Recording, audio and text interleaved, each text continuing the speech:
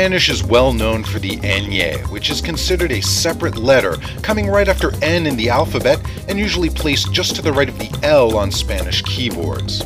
The letter has become a symbol of the language, and in some cases, a symbol of Spanish speakers themselves. Spanish is one of those languages which have more speakers outside of the place it originated from. The country with the most Spanish speakers is Mexico, while Spain ranks third behind Colombia, although by some counts, it's even behind the United States, which has a massive Spanish speaking population of its own. The Spanish word for Spanish varies. In many places, they call it Español, but in some parts of Spain and South America, they call it Castellano after the Castile region where the modern Spanish language was born. Like the other Romance languages, Spanish has a lot of words that mean something different than the similar English word.